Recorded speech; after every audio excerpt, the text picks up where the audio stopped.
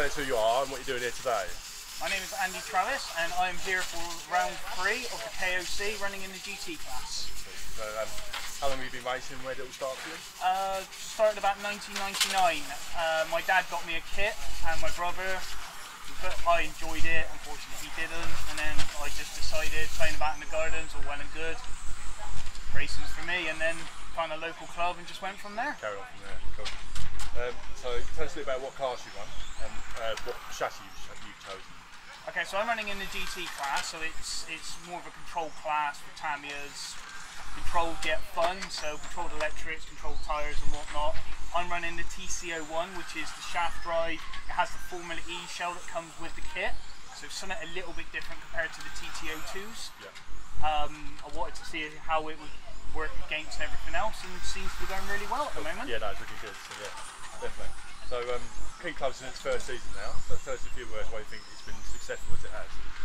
I think a lot of it has been sort of the, the media sort of attention with it, social media posting uh, has gathered, gathered a lot of attention and sort of, definitely all in a positive light. And then for me to come here with this championship, it feels very relaxed. So it's although the roles are controlled, at the same time it's it's a relaxed, fun atmosphere, Yeah, yeah. which is what we need at racing Absolutely, yeah, absolutely, yeah, no, absolutely.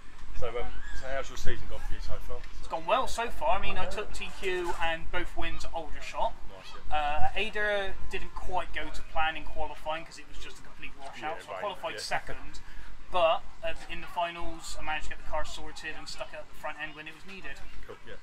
So, um, uh, what do you think of this track, West London? So, I love this circuit. I really do. It's this. I mean, although this is an hour and three quarters away from me, this is my home circuit. oh, okay, yeah. So I do enjoy it quite a lot. It, it's a very technical circuit. The, the bumps, well, not so much the bumps, but the curves will catch you out if you Yeah, take too many liberties. So it's it's rewarding when you get it right, but there's such an easy margin to get it wrong. Yeah, yeah. So, would you say this is your favourite track of the five? I would say yeah, and it's the one I probably know apart from Aldershot. Everything oh, else Okay. is going to be completely new to me. Cool, yeah. So, um, uh, racing hero and why? Sorry. Racing hero. So, who's your racing hero?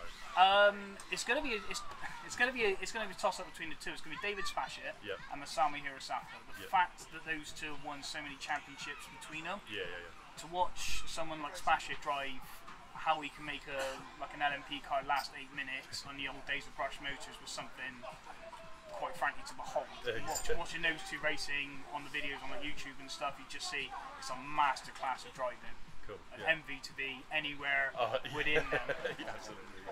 Um, so, finally, so who's your main rival moment? So- Um, I think there's a couple actually. I think there's Stuart Rand today. He's currently TQ both rounds, so he's he's my main rival today. But I think it's him, Tim Harrop, and Bernie Hook, which I haven't seen today. the Bernie's not here today, no. So, yeah. So I think it's it's it's definitely not an easy championship. We're gonna just walk away. Yeah, Those- yeah, those those three are gonna be my biggest rivals. But it's whoever wins it, it's gonna be close. It would, I think it'd be a good final today, yeah. It's gonna be ridiculously close, but it's gonna be. If I win it, it's sure as hell gonna be well earned. Yeah, yeah, yeah, definitely. Brilliant. Thank you very much. You're welcome. Nice one. Cool. I'm Stuart, I'm here racing. Right I don't want to get any sensible answers. Brilliant. So, um, how, how long have you been racing? Where did it all start for you? I've been racing 32 years. It started at Faversham Off-Road Car Club, um, racing buggies and entering cars back in the late 90s, early 2000s. So, Tell us a bit about what class you run what chassis chosen. I, I run the TT02, this is the chassis here. It's the SR model. It's got a few option parts on it, but it's pretty much standard. Um, quite like it, enjoyable, simple, easy. Let's go racing. So, King Club's in its first se- third season now. Tell us a few words why you think it's been as successful as it is. Probably because of the organisers and the fact that all the clubs uh, got together. I think it's a great way to get everyone racing. You know, clubs joining together makes it worth it. Racing hero and why? Racing Hero and why? Probably a guy called Richmond Rogers, um, a guy that uh, I spent a long time trying to beat on the racetrack racing buggies. Um, we raced touring cars um, early 2000 and it was the first time I really beat him in a race. Um, so probably him as a, a racing hero. Racing hero. Uh, so, how's the season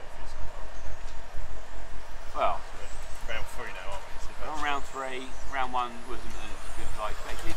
I was fast enough, yeah. uh, but circumstances didn't allow it. Round two, um, it was my mum's birthday, oh, so yeah, I didn't turn up. Yeah, so here I am at round three, and I've taken round uh, taken uh, TQ in both one and two qualifiers so far, so all good. Um, so what do you think of this track, Love this track, brilliant track. It's, it's probably my third favourite track out of all the race tracks there is. So that's my next question. What's your favourite track? Uh, Eastbourne. Eastbourne. You know? Hundred percent. So final question, who's your main rival? Andy Travis and Tim Harrop. Brilliant. Thank you very much. No worries. Right. Sorry? Happy? Right. You ready? Got to look at me. um, right, so tell us who you are and what you're doing here today. So I'm Ben Moorey. I'm running 17 and a half, uh, running the automatic skull. So, how long have you been racing? Where did it all start? Uh, I think I've been racing 14 years now, I think, and started at Eastbourne. Um, so, well, you've basically told us, but tell us a little bit about the class you got and what the chassis you chose. So I've chosen the Awesomatix 800 this year. So I'm starting with 6k to run it this year, maybe next year as well. So So, see how you go. so, um, King Close is on its third season now, so tell us in a few words why you think it's been as successful as it is. uh, it's- all the tracks are really good, and they're also all near where I live, so it's not too bad. Whereas National is a bit further up the country. So. Yeah. Um, so, who's your racing hero and why? Uh, for younger, when I was younger, it was Tim Hancock. Okay, so he yeah, was yeah. the one who like Yeah, yeah. mentored Sort of like, most, yeah, yeah. yeah. Obviously, he does some racing more, so Yeah, fair enough. That's good. Um, so, how's the season gone you so far? Uh, I did round one at Aldershot. It was alright. Qualified sixth after some bad qualifying. First final, had an accident, so I was like last. And then I think the second final, finished third, something like that. Alright. Then it rained, so I didn't race. Um, so, what do you think of West London track? I really like West London. Yeah, it's a good track, yeah. Uh, favourite track? Eastbourne. Eastbourne, obviously, yeah. Uh, so, lastly, who's your main rival in the 75 now? Uh, probably Billy and Glenn. Cool. Brilliant. Because that'd be a good idea, wouldn't it? Right. So, tell us who you are and what you're doing here today. I am Charlie Colby and I'm racing 35. So I'm Jack Collins, and I'm racing 35. So, how long have you been racing and where did it all start for you? Three or four years at Eastbourne. How did you get into it? My father. What about you, Jack? Um, I started uh, just under three years ago and I, well, it all started at Eastbourne, like got talked into coming down by a friend and then sort of took it on seriously from there. Alright, so Charlie, tell us a little bit about the class you run and what chassis you chose. Um, class I run is the fastest one here today. And uh, What's that? 35. 35. And I run a Mugen. Eugen. Yeah. What about you, Jack? Um, same as Charlie, uh, 35 and 35. Newton as well. Same chassis. yeah? So, um, Key Clubs is is on its third season now. So, in a few words, tell us why you've been it's been uh, successful as it's been. Because you started right from the beginning, Charlie. You went started it right there. Yeah. First Um, season one, because of the way it's run, probably. Okay. Jack? Um, I think like because you've got a good, def- good selection of tracks within like a, quite a close Yeah. venue, like where you live, sort of, Yeah. so it's quite local, which is quite nice. And it brings like now it's sort of brought all the juniors in as well. Yeah, Good got to quite a get lot more of kids involved. Yeah, yeah, of course, yeah. So, how's your season gone for you so far, Charlie? Uh, went alright. Stripped the third gear round one. Or the final? In the final, Yeah, yeah. the first one. Yeah. So, what about you, Jack? Um, yeah, round one was pretty good, like finally on the pace. Um, round two at Ada, really good practice, but then it decided to rain. Yeah. And then now, sort of, you know, really fast in the first run, but struggling a bit now, but making adjustments. Okay, most of you That's, better. Anyone smell a blood? Right, then it went good. Yeah, go on then. Came at work you, Carl. I just started Hey, shooting questions stuff like that. Right, so tell us uh, who you are and what you're doing here today. So, my name's Billy Fletcher, and we are doing 17.5 touring car class. and you've recently changed sponsors. haven't you? Yes. Kind of this chassis. So we've just changed over from um, Batcave chassis, Sean, and uh, we're now running Schumacher chassis. Um, she's in the family, so Danny, my girlfriend, races and she's running Schumacher chassis, so it just makes life sense. a little bit easier for spares and I can also relay more information back, helps out. So, yeah, so, Uh, just by the track record yeah, um, frustratingly missed out 20 laps. Uh, we would have had it in round one, but we caught a back marker in the last corner of the last lap, which cost us two and a half seconds. And would have been the 20 lapper that we've been looking for. Yeah, yeah, which is a shame, really. Cool. So, uh, Key Clubs is in its third season now. So, Yeah. Uh, tell us a few words why you think it's been as successful as it has. Mainly the more relaxed atmosphere. Um, you know, we've got the rules to do that keeps it on a fair level playing field. But also the kids. You know, my five-year-old's got a place to race. He, it's so difficult to bring young kids into the racing scene because you know we're all adults and sometimes you see the kids don't get the respect on track that Yeah. the adults get sometimes. And, you know, we all started somewhere, and it's great that King of Clubs has given kids a chance to really race and get involved in hobby. Yeah. which is great to see. Yeah, so it's double from last year, isn't Yeah, it? The junior. So yeah, Yeah, it's growing, yeah. growing. No, it's fantastic. It's really, really good to see, and it's really, really yeah, it's brilliant for the hobby. Uh, so tell us a little bit, how long have you been racing and where did it start? So I started when I was 13. Um, funny enough, the man laughing just to the left of the camera is someone who I raced with when I was 13 years old. when I met him. Um, local club. So I bought a car off eBay, and the guy I bought the car off when I picked it up said to me, "Oh, if you're looking to race it," he went to the club, 15 minutes away, and um, went on the Friday night. That Friday night, and I didn't miss a race until I was 19 or 20 every Friday, every other Friday. Um, we moved a bit more across the country when I got my driving licence, but I didn't really venture out until I went off-road racing. Yeah. I started doing nationals, and then about five years ago now, I moved to touring cars from off-road. Price is spiraling out of control with off-road.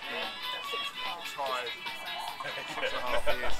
Tyres like you know, like unlimited tyre allocations at off-road nationals. You needed a run, a set of runs to be in the A final, even the Chance B finals. It just got too much, so we made the switch over to touring cars, and that was say six, just over six years ago, as I've been corrected. And uh, we haven't looked back since. And yeah, still, enjoy it. still dabbling in a bit of off-road. A little bit. I, I've got a Schumacher LD2, which is now in ditch due to the sponsor change. Yeah. Um, but yeah, I will get that back together for the winter most likely. We'll probably have another crack at it. Yeah, yeah. With it again. Um, So, um, how's your season gone for you? So, like, King Club season, how's it gone for you so far? first round was uh, uh, perfect at Aldershot. Uh, TQ one meeting, which I didn't expect to do against uh, the likes of Ben Kane, Glenn Westwood. They're like their home track. Local heroes. Yeah, local. You know, they are ultimately fast drivers everywhere they go. Yeah. Uh, Aldershot, they're on a different level. Um, Ada was a bit of a different ball game because of the weather. Yeah, Um, rain, yeah, we had the rains. I just lacked a bit of pace over Glenn. Uh, I got lucky with Glenn dropping out of both finals, but then I had electronic problems in uh, leg one, Yeah. which ended up knocking us out of contention to win the meeting. So um, hopefully today continues as it's gone. And, Yeah, uh, yeah, yeah. we can take another TQ and win, and it'd be good, to be honest, to prove that the Schumacher chassis works in every class. You know, it's been great at nationals in modified. Uh, James Hart's been doing fantastic with it in 13.5, and it looks like it's working really well in 17.5 as well. Um, so, what do you think of West London track? Love it. Always loved it. Um, like, I think I had my first ever proper outdoor national was here. Yeah. Um, yeah, I mean, they recently jet washed it, and it now feels like Yeah, we're back to. yeah. Now feels like we're back to what we were sort of four or five years ago with grip levels and yeah, the track's come up. come alive, yeah, and it's yeah, it's fantastic track. It's warrants a lot of commitment. Um, just yeah, I enjoy it. I've always enjoyed the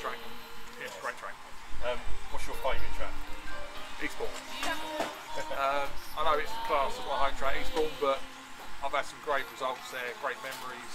I Made a lot of good friends from the Eastbourne club. Um, so yeah, Eastbourne usually comes in my favourite track.